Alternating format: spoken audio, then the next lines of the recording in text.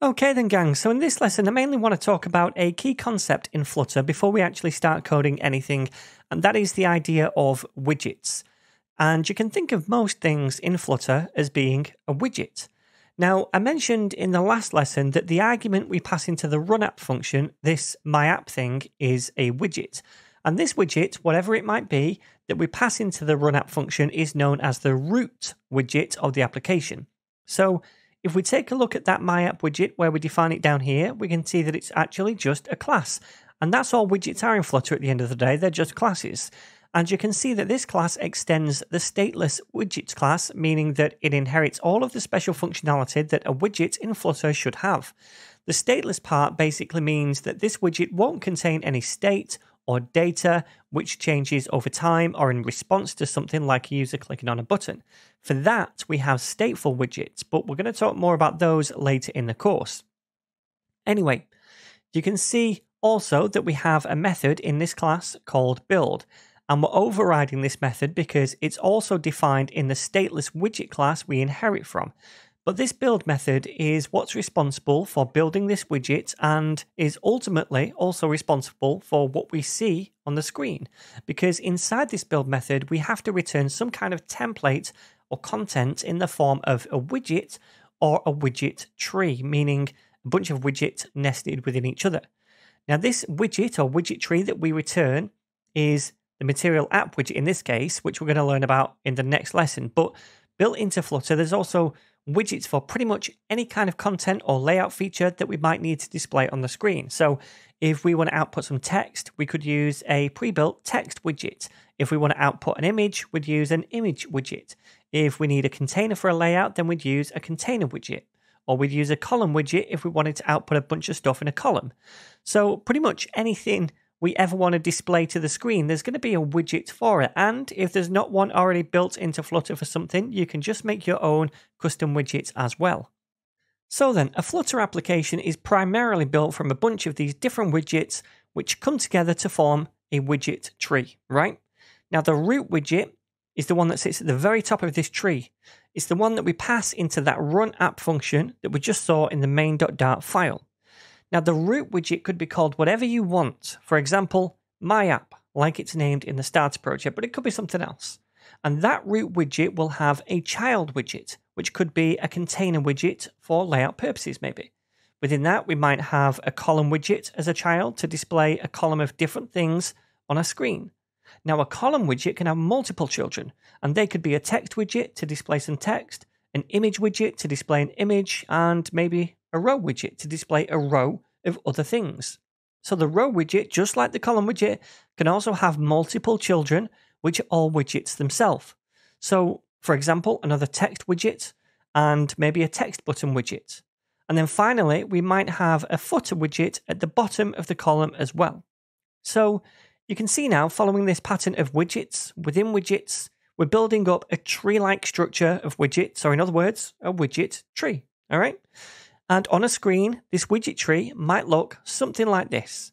We have the root widget, my app, then inside that a container widget with some padding maybe around it, the column with text and image widgets inside it, and then we have a row widget below that with some more text and a button, and then finally a footer widget at the bottom of the column. So when you're making a Flutter app, you're essentially going to be making a widget tree like this made up of a bunch of different UI widgets. Now, most of those widgets are going to be pre-made widgets built into the Flutter framework, like the container widget, the text widget, the image widget, column, row, etc. There's loads and loads of built-in widgets like this that we can use, but sometimes you'll also need to make your own custom widgets, which themselves will probably return a widget tree. For example, this root widget, my app, isn't a built-in widget. It's a custom widget that we create by using a class that inherits the stateless widget class and that class contains a build function which returns a widget tree made up of a few different widgets nested within each other. Also, in our example here, we have a footer widget. Now, that's not a built in Flutter widget, that's just something I made up for this example.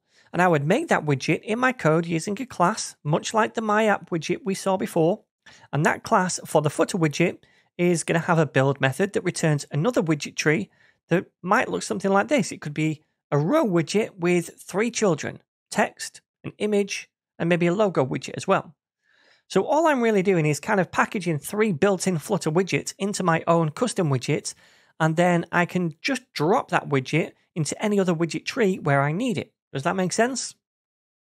If you've ever used React before, I guess this is a little bit like making a reusable component, right? That can be then dropped into the template wherever we need it. So we're just making these kind of custom widgets.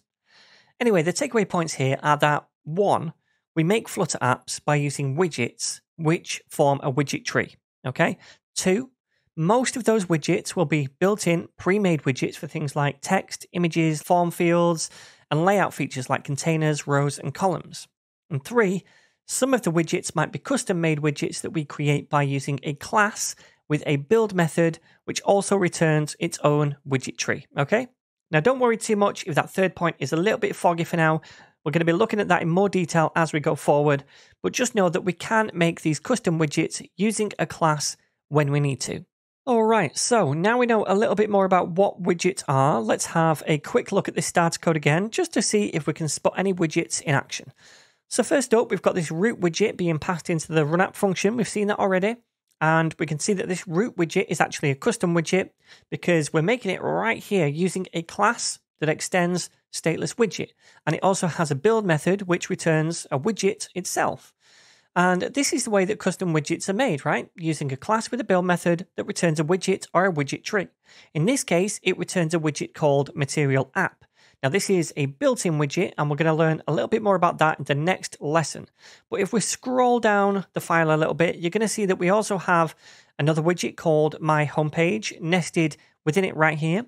And again, we can see that this is a custom widget because we're using a class to make it, which contains a build method, again, to build and return another widget tree.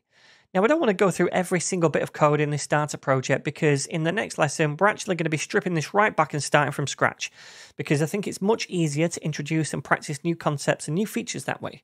But just very quickly, if we scroll right down, we're going to see a bunch of built in UI widgets like the app bar widget, for example, the center widget, we also have a column widget, text widgets, an icon widget, etc.